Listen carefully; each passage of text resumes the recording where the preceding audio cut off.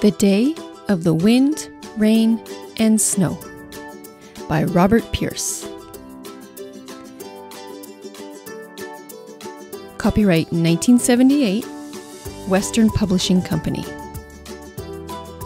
For this video, we're going to read The Day of the Wind. The Day of the Wind was the day that Pete set out to catch a fish to eat. He crossed his fingers, made a wish, and tried his best to catch a fish.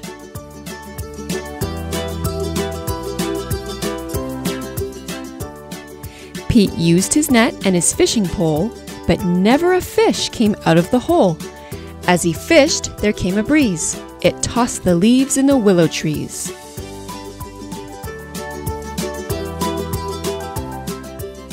The willows sang as willows can when the wonderful day of the wind began. The wind grew strong and began to roar, but Pete still wanted to fish some more. Beside the brook, he found a box. He held it down with heavy rocks.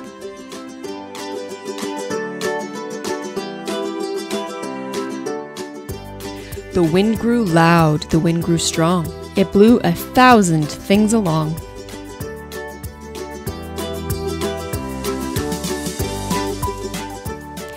Kites and clocks flew through the air, a pair of pants, and a yellow chair.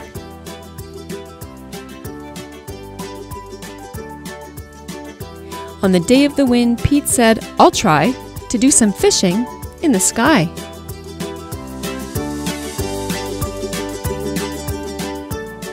He caught a hen, a hog, a hat, an apple pie, and a spotted cat.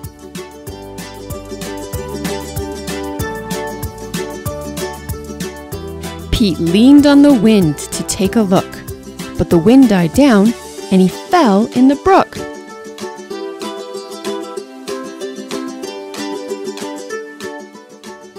As he splashed and got all wet, a giant fish fell in his net.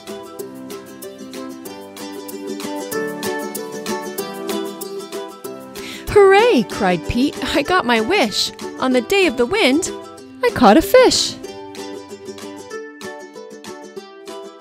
The end.